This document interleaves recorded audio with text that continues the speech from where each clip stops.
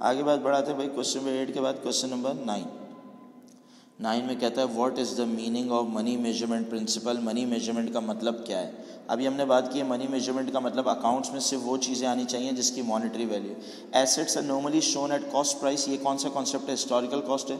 Only item with the monetary value ये money measurement concept है भी कह रहा है profit are calculated after allowing for accruals and pre payments accruals and pre payment पे जो कॉन्सेप्ट अप्लाई होता है वो है आपका मैचिंग uh, कॉन्सेप्ट या जिसको अक्रूवल्स कॉन्सेप्ट भी कहते हैं मैचिंग कॉन्सेप्ट मैचिंग या अक्रूवल्स कॉन्सेप्ट क्या कहता है भाई? इसको भी समझ लें।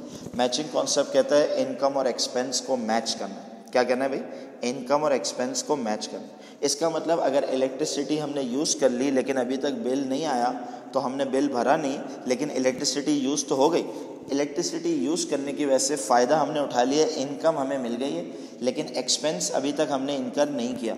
तो चाहे हमने बिल भरा या नहीं भरा, चाहे बिल आया या नहीं आया, हम एक्सपेंस को भी रिकॉर्ड कर लेंगे, ताकि इनकम और एक्सपेंस दोनों क्या हो जाए मैच हो जाए। इनकम और एक्सपेंस सेम पीरियड में आए। एग्ज़ाम्पल है रेंट है महीने का, दस हज़ार साल का रेंट है वन ट्वेंटी थाउज़ेंड सही hundred and twenty thousand rent बनता है, लेकिन हमने अभी तक रेंट भरा कितना है? साल में नाइन्टी थाउज़ेंड भरा है। लेकिन जगह यूज़ कर ली पूरे बारह महीने तो जगह से बेनिफिट अगर मिल गया बारह महीने तो एक्सपेंस भी बारह महीने का चार्ज हो जाना चाहिए, चाहे हमने रेंट दिया या नहीं दिया। ये कौन सा कॉन्सेप्ट है? मैचिंग कॉन्सेप्ट और अगर जगह का रेंट है वन ट्वेंटी और हमने ज़्यादा भर दिया फॉर वन फोर्टी भर दिया, दो महीने का एक्स्ट्रा भर दिया तो वो जो एक्स्ट्रा महीने का रेंट है वो माइनस हो जाएगा, वो प्रीपेड है, वो अगले साल में चार्ज करेंगे। तो ये कौन सा कॉन्सेप्ट हो गया भाई?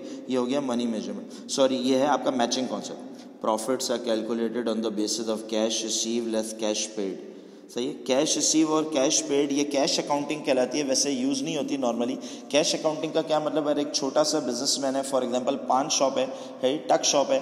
तो वो सेल्स से उस वक्त रिकॉर्ड करता है जब उसके बाद पैसे आते हैं. अगर कोई उधार पे माल ले जाता है तो वो सेल रिकॉर्ड नहीं करता जब तक वो पैसे आ ना जाए.